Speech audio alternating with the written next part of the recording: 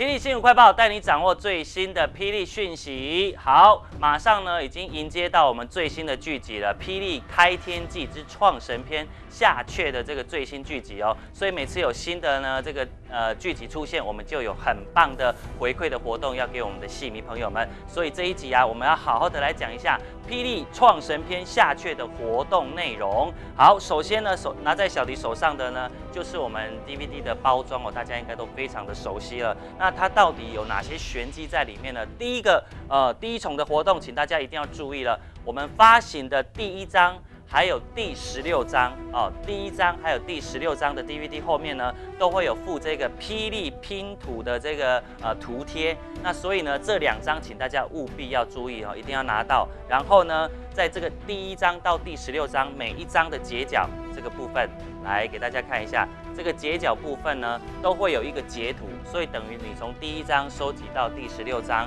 这个截图呢，在第一章或者是十六章的时候呢，会有这个拼贴哦，给你一个拼贴，你就把这十六章的拼贴全部贴上去，然后呢寄回来就可以参加抽奖了。这抽奖内容呢很大奖哦，包含有洪家腾一百二十五 CC 的这个非常帅气的摩托车，还有我们电视版的这个木偶，包含有仓啊，还有管太水啦。素环针啊，都是非常大咖的电视版木偶。那这个拉霸的游戏呢，大奖一样，跟我们的刚刚的第一章到第十十六章的这个霹雳拼图图贴的抽奖的这个奖项呢，都是一样的，都是这么样的大奖，包含这个洪家腾的一百二十五的 CC 的这个摩托车，还有电视版的大型木偶等等的，都一样，都是有的哦。那这个拉霸呢，更迷人的地方是，你每隔两两周的这个双张当中呢，你就会拿到一次拉霸的这个拉霸券，对不对？你就可以玩一次，就多。一次中奖机会了，所以呢，玩越多次呢，你的中奖几率就越高，好不好？那同时呢，配合我们不同的通路啊，